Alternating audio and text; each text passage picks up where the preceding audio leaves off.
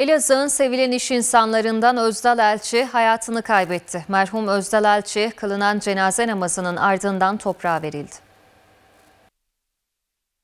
Elazığ Belediyesi çalışanlarından İbrahim Elçi, bankacı Enes Elçi ve Doktor Büşra Elçi'nin babaları, Kanal 23 çalışanlarından Ahmet Elçi'nin abisi, Elazığ'ın sevilen iş insanlarından Özdal Elçi vefat etti. Yine ahirete taalluk eden haklarınızı da helal eder misiniz? Haklarınızı helal eder misiniz? Haklarınızı helal eder misiniz? Yüce Rabbim helalliklerinizi de kabul buyursun.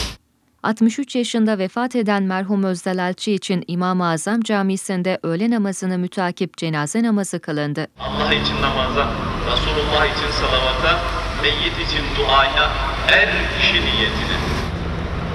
Allahu Ekber.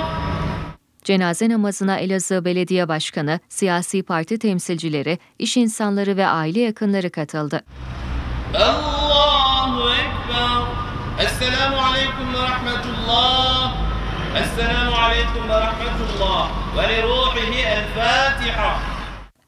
Kılınan cenaze namazının ardından merhum Özdal Elçi, Sarılı köyünde bulunan aile mezarlığına defnedildi.